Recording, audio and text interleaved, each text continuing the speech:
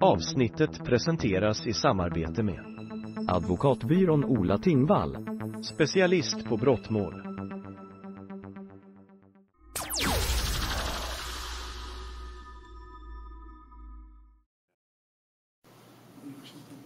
Då så är det vittnesförhör med Magnus Stenlilja och det är åklagaren som inleder. Varsågod. Ja, tack. Ja, hej. hej. Eh, du jobbar ju som polis, det ser vi. Eh, du är hundförare? Ja, Ja. Eh, 7 juni jobbar du. jag jobbar då. På kvällen här så fick du ett uppdrag. Ja, Kan du berätta lite om det? ja eh, jag gjorde kvällen och skulle gå av 23. Och sen försökte jag väl kolla av eh, ja, 8-9 snåret om det var något jobb som låg, som vi brukar göra ibland. Då ser jag att det har kommit in ett eh, jobb eh, via LKC då, som inte har ropats ut till mig ännu. Om att en flicka är eh, anmäld försvunnen. Och det är borta vid Blomberg, Lidköping där. Så jag tar kontakt med LKC-befälet och så börjar jag rulla lite sakta för vi vet ganska lite. Det enda vi vet just då är att pappan har kommit dit och hittat moppen och med tändningsnycklarna i. Och eh, ja, det är väl det som får att jag får en liten olustig känsla. Så jag, ja, man taggar till lite och jag packar ihop bilen med pannlampor och sånt. För förbereda mig. Mm. Och så åker jag dit. Du åkte dit innan du fick uppdraget ens, så kan man säga. Ja, ja, eh, ja kan man säga. Alltså jag åkte dit eh, efter att de hade beordrat mig men jag tipsade om att jag, kunde, att jag Ah, fanns. Okej, ja. Vad var klockan ungefär när du kom fram? Eh, ja, ungefär 23 skulle jag tro någonstans där. Ungefär. Jag kommer inte riktigt ihåg det. Ja.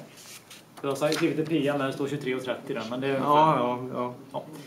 Eh, och vad, vad blir det för åtgärder från din sida där?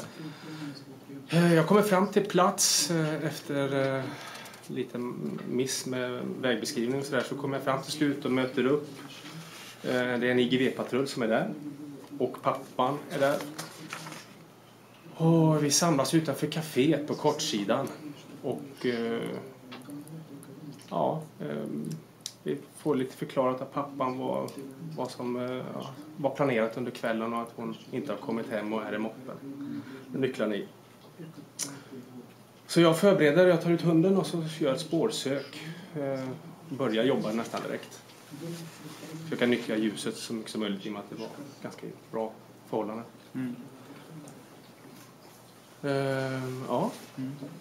Söker du först utanför eller vad, vad söker du någonstans? Jag börjar söka runt moppen och när jag slår en så kallad ring runt moppen. Eh, Jag har ju förstått på pappan att han har flyttat moppen från det ursprungliga läget. Då. Eh, Jag slår en ganska stor ring runt, ser om jag får något utgående spår ut i terrängen.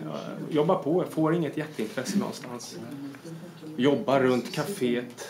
Eh, eh, och Sen är det några byggnader bakom kaféet eh, mot herrgården till som jag jobbar mot. Då. Mitt emot kaféet finns det en lada, eller ladugård om man ska Mm. säga. Eh, var du där inne och sökte? Ja.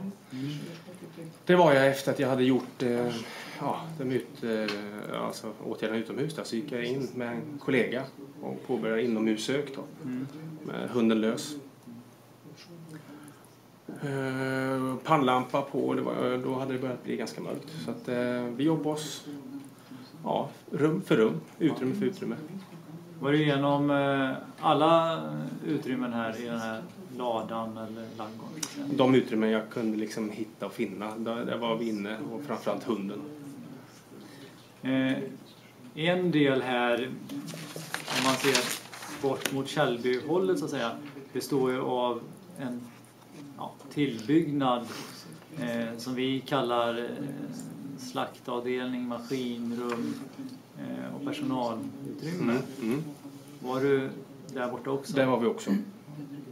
Vet du vad jag pratar om när jag säger slaktavdelning? Ja, ja, jag har själv benämnt det mitt, eh, som mjölkrummet. eh, Alltså Ja. Det var ett kaklat utrymme. Precis. Och eh, några iakttagelser? Ja, alltså jag, jag letar ju eh, efter Lisa då så att jag, jag ser på hunden att hunden är, den visar lite intresse på någon avföring som låg i ett stort utrymme inne i ladan. Mm. Sen när vi kommer in i, som jag benämner mjölkrummet så får jag ett intresse, ett förhöjt intresse på hunden på golvet. Men jag lyser där med min pannlampa och ser att ja, det, det kan vara gammalt blod. Alltså jag, jag får liksom inte någon känsla. Så. Eh, ja. Ja. Och det är ingen, ingen Lisa där i vart fall. Det är ingen Lisa där och eh, vi kan inte hitta henne inne i ladan då i alla fall. Okej, tack. Mm, advokat Brante? Ja, bara för att vara kanske onödigt och tydlig. Det du sökte efter det var flicka, Flicka. eller hur? Ja. Och det här är en alltså sökhund. Hundar kan ju, ju ha olika specialiteter men din hund är en... ja, det är en vanlig patrullhund och han jobbar ju eh, ja, med vanliga polisiära uppgifter. Precis. Fick hunden Crimecrime.se. lukta på någonting som, ett, som då tillhörde Lisa? Nej, Hade det varit bättre? Eller, eller? Nej så det vi, jag jobbar inte så i alla fall. Ja, Nej. okej. Men eh, utgångspunkten var att kolla om du kunde med hundens hjälp hitta Lisa Ja. enkelt.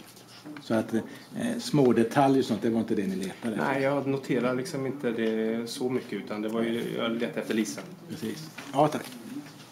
Advokat Rönnbäck? Ja, tack. Och hunden markerade inget särskilt i ladan, förstod jag.